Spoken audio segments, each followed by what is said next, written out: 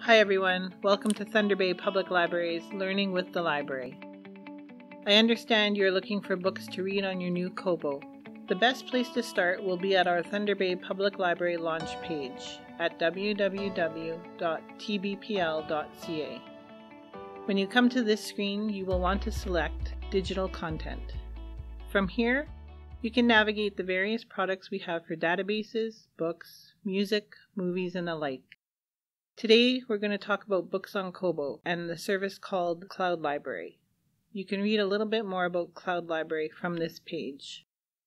And once you've done that, you can click on the link at the left named Cloud Library, which lights up when you hover over it. When you get to this page, it will provide you with a large amount of information, but for our purposes, the best thing to do to navigate the entire system is to click on Login before you start. It will ask for your library card number and your library PIN. This is the home page or the landing page for Cloud Library, and by default it always begins with the featured collection. The featured collection is essentially Thunder Bay Public Library's top picks or books that are coming in soon. Please note, this featured collection does not list everything that we have. If you want to browse everything that Cloud Library has on your behalf, you need to select Browse on the top of the navigation bar.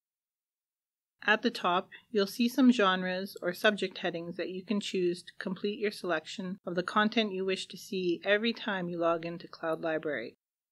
For example, if you don't see any Christian items and you would like to see that kind of content next time you log in, simply click Christian items and it will add that type of content to your options for books.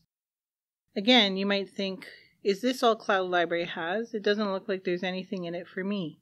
But if you scroll to the right, you'll see an arrow that allows you to browse through under each heading. We will discuss my books and messages in a few moments. For now, we're going to browse the catalog. Today's presentation is about Kobo, and Kobos will only display print material to you. They cannot play audiobooks. While you are scrolling through the catalog, you will see a title page and sometimes you will see a title page with a headphone icon. This will indicate it is an audiobook. Now what I like to do even before I start looking or browsing for books is apply a filter. And what that does is sets the type of book that I'm looking for right off the top. So by clicking filter, I'm going to set rules to show me only ebooks. When I deselect audiobooks, this will mean I don't want to see any listing for audiobooks while I'm browsing. And I don't want to browse through all titles. We might have thousands of titles in the database, but I only want to see what I can borrow right now. When I close this dialog box, my content will change based on those parameters. Now I can browse the type of book in the format that I want. I think I'm going to borrow this title right here. By selecting the title page, you will actually see the back of the book. The same as if you were browsing the shelves here in the library. You could flip it over and actually read what the book is about. So I'm interested in this title. I'm going to borrow this book. By clicking on it, it is now placed on my card and I have a few options from here. Read, return the book, or download it for offline reading. We're going to do that later. I'm going to continue browsing, so I'm going to close this title's dialog box. And I think I will check this one out too. The novel's author is Beth O'Leary. Cloud Library will display reader's advisory suggestions for this author. If we have other books by Beth O'Leary in Cloud Library, they will be displayed down here. Interestingly, this book is in Spanish, but I'm going to borrow it anyway. I'm going to close the dialog box again, and now I have two books that I potentially could read. Perhaps I'd like to put a book on hold. To do that, I need to go back and change the filter settings. I'm going to select Show Me eBooks and Show Me Everything So this book, Wish You Were Here by Jodi Picoult, is not available for another 182 days. But I want to get on this hold list, and I can do that by clicking Place Hold. Don't be concerned when you see a book that takes forever to get, because sometimes our librarians will purchase extra copies and move that queue through quicker. So now I want to see what's on my card. I'm going to select the My Books option, and it will show me that I have a couple books from before, and the book that I had just previously selected. I can also select My Holds, which will display the books that I'm waiting for for future reading. If I ever want to see my reading history from Cloud Library, the History feature will show everything that I have checked out in the past. One additional item that is really nice about Cloud Library is the flag feature while you're in browse mode. Perhaps you do not want to commit to reading a specific book right now or placing a hold on it. However, you would just like to remember this title for the future. I can flag it like this. One click turns it blue, and when I get back to my books and look at the flags, you can see the book here that I might find interesting later on, but I've never actually taken this book out or put a hold on it yet. Let's go back to my books and the reading view. These are the two books I had previously selected right here. So what I need to do in order to read the books on the Kobo is first transfer them onto a computer. In order to do that, I need to download for offline reading. You can see activity happening at the bottom of my computer screen, and I'm going to download the other title as well. And now some activity concerning that book has occurred.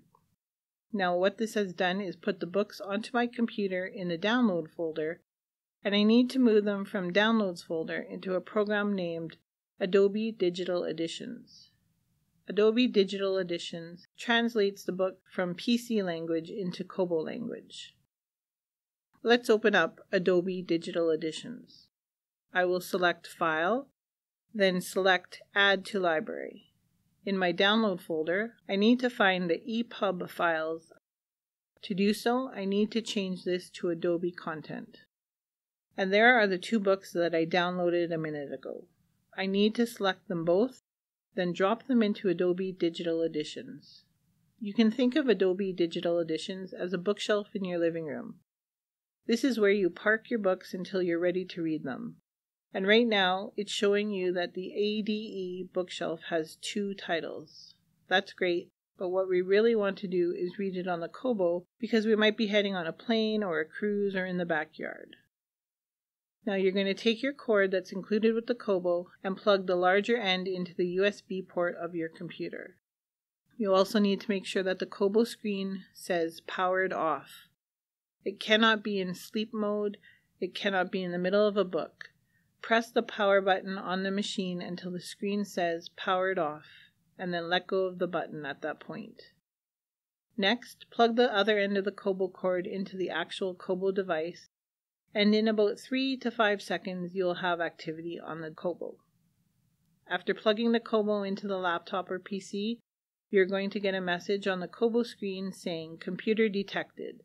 Would you like to connect your e-reader to the computer to manage files? You're going to select the square that says Connect, and if you watch the computer screen, the Kobo then appears green. We have one library book currently highlighted. Christmas is Cancelled is the other book. What we need to do is highlight 1. It turns blue when selected with my left mouse button, and I'm going to hold the left mouse button down, drag and drop the file over my Kobo. That's book number 1. We're going to do the same for book number 2, drag and drop. A small plus symbol appears as it nears your Kobo. And now I have two books, or in theory, I have two books on my Kobo.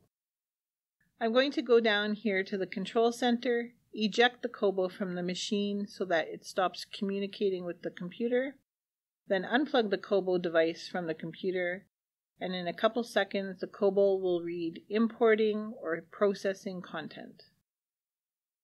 We will then notice that two books have been added. The first title, Christmas is Cancelled, and then the second title, followed along. When I select one of the titles or the covers, the book opens up and now I can navigate the book by flipping its pages.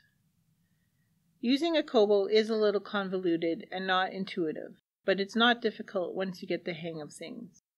Go to the Cloud Library website, borrow the book, download the book, transfer the files over to Adobe Digital Editions on a computer, and transfer the files over to the Kobo once you've connected it to the PC.